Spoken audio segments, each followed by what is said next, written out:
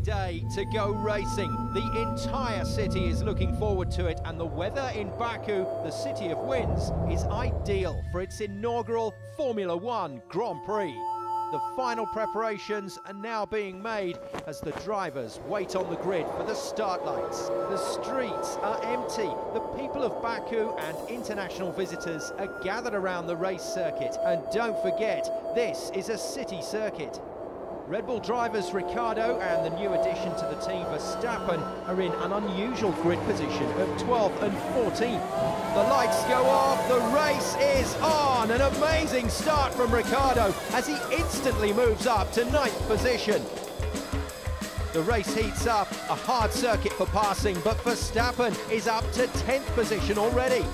Ricciardo passes the car in front of him and moves up to seventh position into the Old Town section and the drivers have some very tight, narrow corners to negotiate.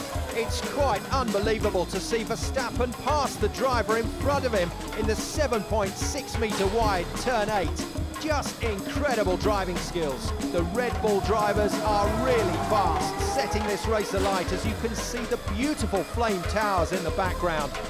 As the 13th lap is underway, Verstappen is in 8th and Ricciardo in 7th place. I do feel bad for the people here in Baku who are missing this incredible race. Now the cars are passing in front of the government house and it's also where the pit lane is. Ricciardo is now in 4th and Verstappen in 5th. I can easily say that this is one of the most exciting races in years. What an amazing race. Ricciardo has moved up to second and Verstappen third as they hit the sharp downhill section where that stunning panoramic view of the Caspian Sea coastline reveals itself.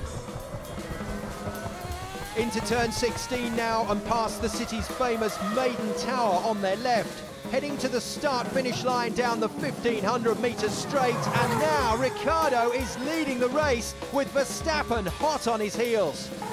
It's the final lap of the race. Oh, this is unreal. It's between these two now. Verstappen passes Ricciardo. No, Ricciardo comes back at him and reclaims the lead.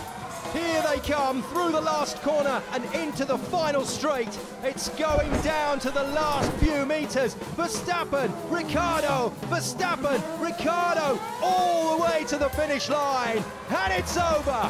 What a race. An amazing result for the Red Bull Racing team as they sweep the Grand Prix of Europe here in Baku. It's a fairy tale finish for Verstappen, only his fourth outing with Red Bull. And here in Baku, it's two young superstar drivers in Verstappen and Ricciardo, proving to the world. Good morning, Baku. Today is the 9th of June, only 10 days left until the inaugural Grand Prix of Azerbaijan. Grab your tickets before it's too late. The weather is windy again, but it's guaranteed to be sensational racing here in the capital. Motorsport just doesn't get better than this.